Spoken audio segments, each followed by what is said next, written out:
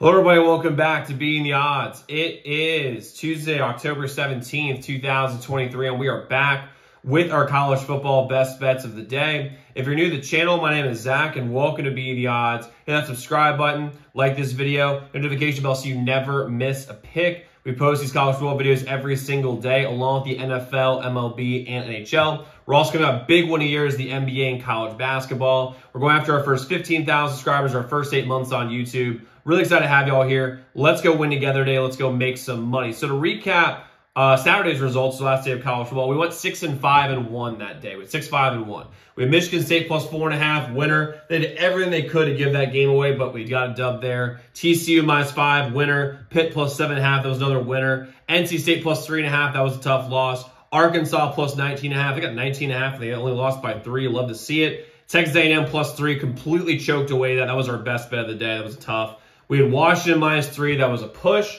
USC plus three. L, Miami plus three and a half. Disgusting second half. Horrible. And we had Oregon State minus three and a half. Convincing win against uh, UCLA. And then Missouri plus one and a half. Uh, that was an absolute banger. So overall for the year, we're 69 and 57 for the year. Overall for best bets, we've dropped to 22 and 11 overall, but 22 and 11 is still very, very solid.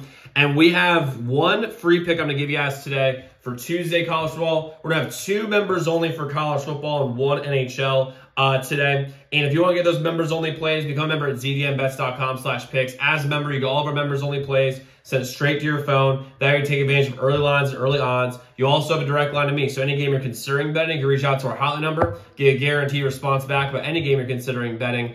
And um, we also get all of our free picks sent to you before these videos come out. That way, we can that way take advantage of early lines and early odds. To that website, zdmbets.com slash picks, zdmbets.com slash picks, zdmbets.com slash picks. So let's get with our let's get with our free pick of the day, which is going to be mid, Middle Tennessee plus 14 and a half versus Liberty. I like them covering this spread.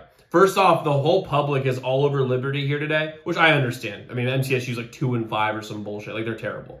But 14 and a half is a lot of points, especially for MTSU team that can actually put up some points. Viano's really not that bad as a quarterback. I watched him a lot because he plays mostly during the week. But MTSU, I mean, they, they could put up some points. 14 half is eight. I mean, eight shit ton of points. The public is all over Liberty. They have a very capable offense, and their defense has actually gotten better and better as the weeks have gone on. I really like them here against Liberty. I think Liberty does win this game by about 10, but 14 half should be plenty of points.